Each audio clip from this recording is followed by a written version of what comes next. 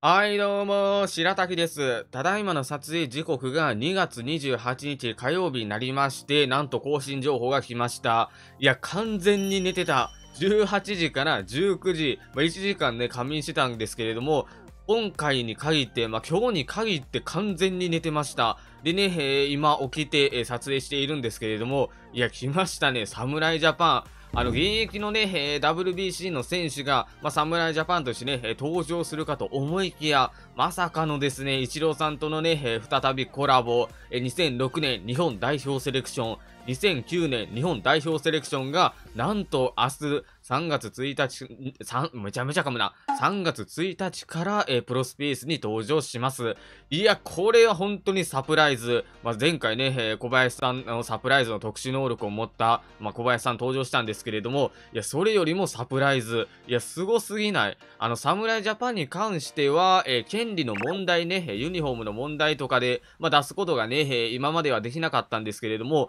今年のコナミさん本気やね、まあ、侍ジャパンのね、ユニフォームを着用した OB が、え今回、えー明日からかな、え15時、えガチャ更新されるんですけれども、いや、すごいね、えその中にもね、えーイチロー選手が再びね、えスピリッツ4200で、え登場していますし、まあ、能力のね、変更があるかもしれない。で、侍ジャパンの特徴としては、本職ね、えーショートを守っている方でも、まあ、セカンドをね、えー守る方がいる。その時、えーサブポジションがつきます。いや、こういったね、選手たちもいるので、いや、このタイミングで盛り上げてくれるのはかなり嬉しい。まあ、2月はね、本当に、まあ、ベストナインタイトルホルダー、まあ、あんまりね、えー盛り上がらなかったので、この3月から侍ジャパンでしょ？で、グランドオープン、で、4月にタイムスリップセレクションと、まあ、かなりね、えー盛り上げてくれるような、まあ、更新を、えーしてくれるんじゃないのかなと思います。今回の動画は侍ジャパンの情報が来たので、明日から開始される2006年から、選手をね、見ていきまして、2009年に関しては、まあ、3月8日からね、開始されるので、詳しい話は、まあ、そのね、1週間後にしたいんですけれども、まあ、軽くね、パッと選手だけは、ま、見ていこうかなと思います。で、こちらね、えーお知らせ、えー見ていきたいんですけれども、お知らせ、あれ？来てない。あれ？イチローさんとのやつが消えた。あれ、さっきまでイチローさんとのなんか画像があったんですけれども、あれ、消えてる？あれ、なんかもしかして不具合来てる？今の撮影時刻が20時なんですけれども、なんかバグとかあるんかな？まあ、とりあえずお知らせの中、情報は消えています。まあ、先週見ていきましょうか。選手見ていきましょう。3月1日、明日15時から、2006年日本代表セレクションが来るので、12球団の選手見ていこうかなと思います。え1人目がソフトバンクの松中選手。松中選手は、指名打者として、登場していたので、まあ、能力どうなんやろ変更があるんかな変更があるとすれば弾道。弾道が、アーティストに変更される可能性がもしかしたらあるんじゃないのかなと思います。まあ、侍ジャパンパッと見アーティストの選手がいないので、まあ、もしかしたら能力変更されて、まあ、三冠王なんですけれども、唯一ね、えー弾道がパワーヒッター、他、落合さんとかバースさんは、まあ、三冠王なんですけれども、うん、まあ、これどうなってくるのかやね、特殊能力。まあ、あと特殊能力か。まあ、前回ね、アベレージヒッターに変更されたんですけれども、第2特殊能力、プルヒッターを持っているので、まあ、12球団勢的にはリアルタイム対戦、えまあ、厳しいと思います。まあ、アーティストになってもプルヒあると厳しいかな。まあ、あとは侍ジャパン、もしかしたら第3特殊能力、固有の特殊能力が、まあ、あの、つくかもしれない。なんか熱いで、えープロスピードがね、まあ、そういった、まあ、特殊能力の名前わからないんですけれども、もしかしたら固有の特殊能力がつくかもしれないので、アベレージヒッターが、えー2番目に来て、まあ、第3特殊能力、侍ジャパン固有の特殊能力になれば、ブルヒッターが消える。まあ、パワー比ブルヒであれば、そうやね、ソフトバンク純正ファースト誰使ってるかちょっとわからないですけれども、まあ、ソフトバンク純正は、ま、欲しい。まあ、12球団的にはファーストはね、バーさんとか落合さんがいるので、まあ、そちら使ってもらった方が、いいんじゃないのかなと思います。まあ、能力修正されるかされないかで、まあ、そのね、評価は変わってくるんじゃないのかなと。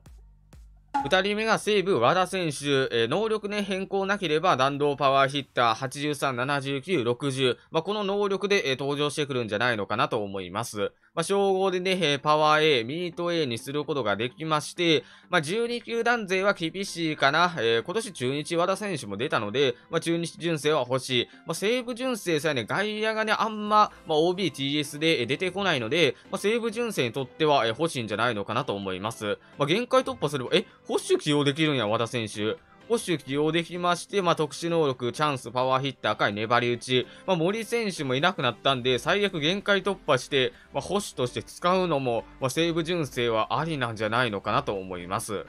続いて、ロッテでね、登場してくる選手が4名いまして、まず1人目は小林選手。まあ、小林選手はね、2021年、ダルビッシュセレクション登場してきたので、まあ、この能力で、えー、登場してくるんじゃないのかなと思います。78、78、80。で、球種を見ると、えー、ツーシームとね、フォーク、えー、持っていまして、特殊能力、まあ、タイピンチはないんか、まあ、小林選手出たんですけれども、今現状、ランク戦やね、全国大会で使ってる人はいないので、まあ、純正向きの選手かな、ツーシームフォークを持っているので、まあ、純正の先発枠として、えー、使えてくるんじゃないのかなと思います。まあ、称号で全同時できるのかなまあ、それに関してはテロップでね、何かしら書かれていると思うので、まあ、そちらのね、方を見てもらえればなと思います。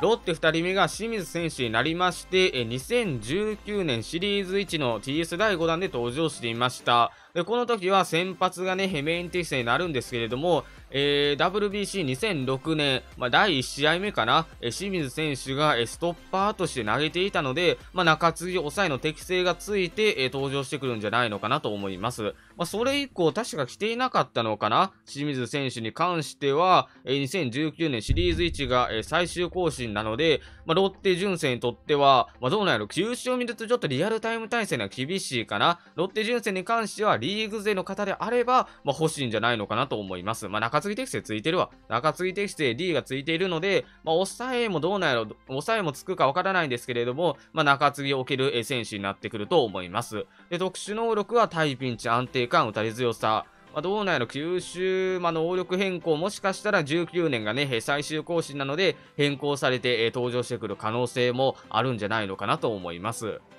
3人目が、えとうとう来ました。西岡選手、OB シリーズでは登場せず、このね、侍ジャパンで、え登場してきました。いや、ロッテ純正の方、ちょっと大変じゃない？小林さんに清水さんに西岡さんに、まあ、あとは藤田選手でしょ？え、なんでこ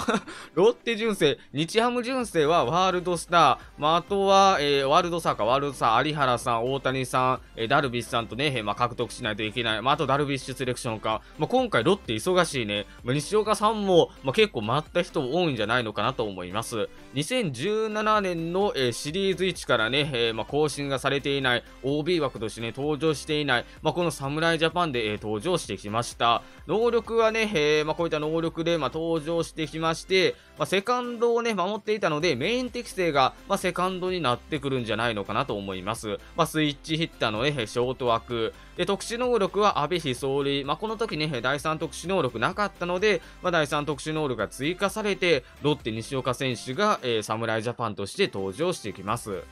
ロッテの4人目が、え新規枠、藤田総一選手になります。ロッテ本当に忙しいね。で、参考する年代が、え1998年か、まあ、2005年どっちかになってくるのかな。えー、2005年は防御率が2.56、45登板1勝4敗、24ホールド、25ホールドポイントと、まあ、こういったね、成績を収められているので、まあ、どちらかのね、年代で、まあ、登場してくるんじゃないのかなと思います。まあ、球種がどうなってくるかやね、リアルタイム対戦で使えてくるのか、まあ、それともね、リーグ向きの選手になってくるのか、まあ、明日ね、楽しみにしながらね、ちょっと待っておこうかなと思います。パ・リーグ最後が日本ハムファイターズ。侍ジャパンではファーストをね、メインで起用されていたので、まあ、このまま登場してくるのか、まあ、ファーストメインにして、まあ、能力がね、修正されてくるのか、修正された場合は、まあ、2005年とか2004年の年代かな、まあ、成績を参考にして、まあ、作られる可能性もありますし、まあ、このまま登場してくる場合もある。まあ、どうなるかは明日のね、3月1日の、まあ、更新待っておこうかなと思います。セリーグの方になりまして、ヤクルトは石井宏斗選手が登場します。参考する年代はね、2002年になりまして、この時は9位、86、76、65、まあ、このまま来るのか、修正されてくるのか、まあ、中継ぎ抑えをね、起用することができまして、ストレートが9位 S。まあ、リアルタイム対戦ではこの球種だと厳しいと思います。で特殊能力は超剛速球、奪三振、タイピンチ。まあ、石井選手はヤクルトね、この後純正最強決定戦があるので、純正最強決定戦に参加する方は欲しいんじゃないのかなと思います。横浜で登場する選手が2名、1人目が相川選手、最終更新は2021年シリーズ1のタイムスリップセレクション第1弾だと思います。こちらね、横浜の相川選手、前回はヤクルトで登場していました。で、横浜の能力が、え、弾道、低弾道、78、65、61。まあ、守備数値はね、こういった感じになっていまして、特殊能力、保守、チャンス、え、流し打ち。参考する年代が2007年か。まあ、2007年どうなんやろう、まあ、能力修正、まあ、1年前、2年前になるのか、まあ、それともね、そのまま来るのか、まあ、わからないんですけれども、まあ、能力的には、まあ、リアルタイム対戦では、まあ、少し厳しいんじゃないのかなと思います。まあ、最近ね、古田さんが登場したので、古田さんであれば A ランクでも、まあ、守備要員として使うことができる、まあ、横浜純正にとってはね、えー、まあ、純正最強決定戦参加するんであれば、まあ、確実に欲しい選手になってくると思います。横浜2人目が金城選手、弾道低弾道84、66、77、2020年が最終更新。まあ、12球団は厳しいかな。まあ、純正向きの選手。まあ、守備数値は、えサードがメイン。で、セカンドとね、センター、え守ることができまして、特殊能力、アベレージヒッター、チャンスメーカー、走塁、で、スイッチヒッターになっています。まあ、純正最強決定戦に参加するんであれば、まあ、格闘する価値はあるんじゃないのかなと思います。安心見ていきましょう。選ばれたのが、2022年シリーズ 1TS で登場していました久保田選手が、まあ、侍ジャパンスピリッツ4200で登場してきます。いや、なん、藤川選手ではなく、えー、久保田選手と出てるんですよ、TS で。しかも今年か、今年2022年出てるのにもかかわらず、なんやろうね、ちょっと選出が最近よくわからないんですよ。藤川選手でも良かったんじゃないのかなと。まあ、久保田選手はね、純正最強決定戦、まあ、参加するんであれば、まあ、阪神枠としてね、欲しいんじゃないのかなと思います。広島で選ばれたのが、え最終更新がね、2020年の新井選手。まあ、能力このままだと、えラインドライブ78、83、65。で、特殊能力ね、広角打法、ラインドライブ持っていまして、まあ、強いとね、言われている選手になっています。新井選手、広島純正の方は、まあ、欲しいんじゃないのかなと。